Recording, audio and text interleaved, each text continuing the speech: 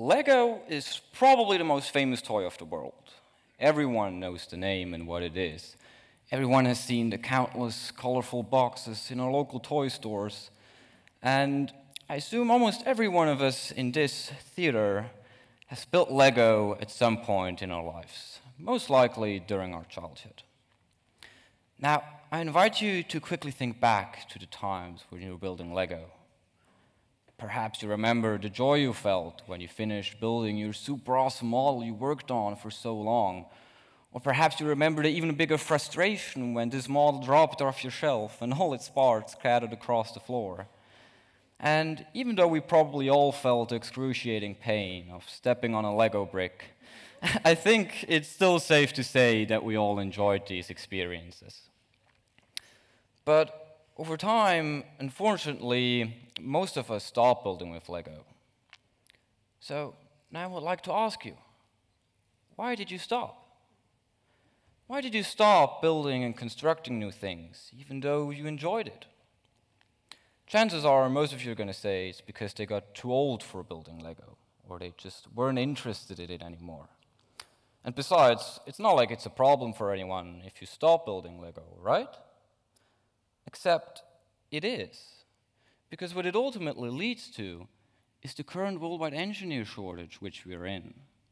I assume all of you have heard of it at that point, being from headlines, newspapers, or various other sources. But they all tell the exact same story. We are missing engineers. Even worse, in fact, the demand for engineers is increasing, while the amount of people who choose engineering careers is decreasing. Now, you might be wondering what the shortage of engineers has to do with building Lego. The reason for that is that Lego is not just a toy. It's not just putting pieces of colorful plastic together in order to pass time.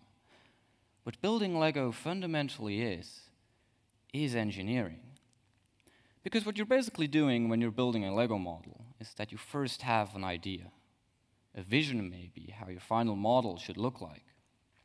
Then you go searching for the right bricks, and you think about how you can connect the right parts together in order to get it to look and to move the way you have in your mind. Now, compare it to the work of an engineer. You're tasked to create something with an intended look or purpose. You first have an idea, a vision maybe, how your final product should look like. Then you go searching for the right formulas, and you think about how you can connect the right mechanical, mathematical, thermodynamic, and electrodynamic principles together in order to get it to look and to move the way you have in your mind. Now, for those of you who haven't already noticed, the process of building Lego and the process of engineering, which I just stated, was the exact same, except for three words which were replaced with something else. But now, what can we deduce from this? In short, the work of an engineer is at its fundamental level the exact same as building Lego. But now, if building Lego is like engineering, and seemingly every one of us enjoys building Lego, then, then why? Why are we lacking engineers? Let me tell you, it is for the same reasons that you've stopped building Lego because our motivation to keep on constructing things is fading as a result of not nurturing our seemingly inborn creativity and desire to build new things. So, this is where we need to take action. We need to stop people from stopping to build and keep them interested in designing new things and give them ways to develop their creativity. And in my opinion, Lego is one of the best tools to do just that.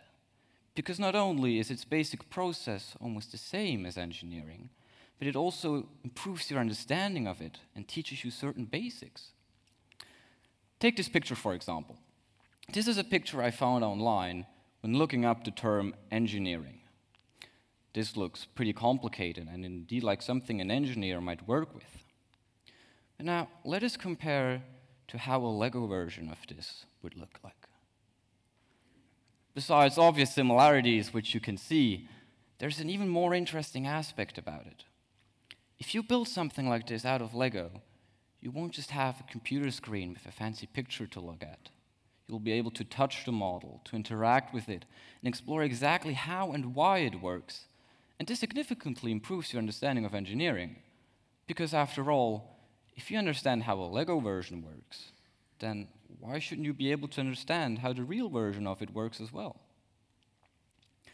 Now, I do not want to tell you that if we all start building Lego again, we will solve the engineering shortage. I wish it were the case.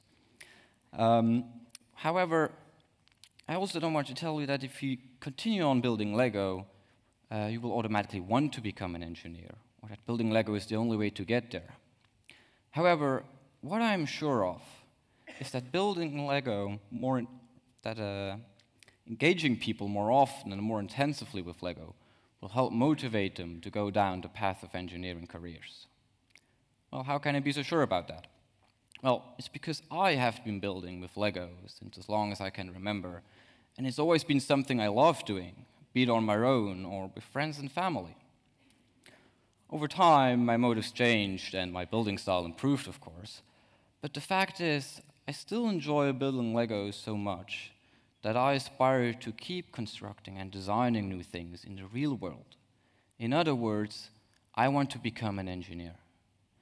So, me standing here today with the dream of becoming an engineer is living proof that LEGO can inspire people to become engineers. And I'd say with the right engagement, we can increase this number.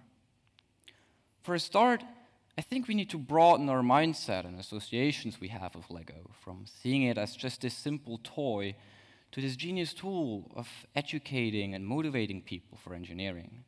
Because I can't even tell you how many times I've been asked by other people, Aren't you too old to build with Lego?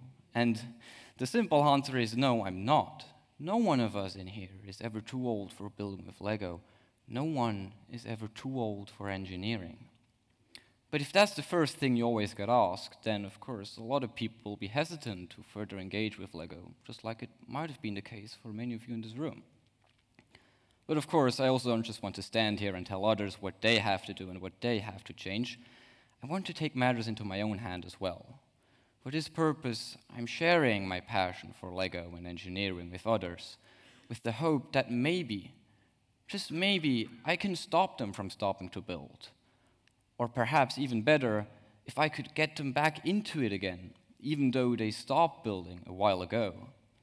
Because in this world, which is constantly under construction, every single engineer is needed.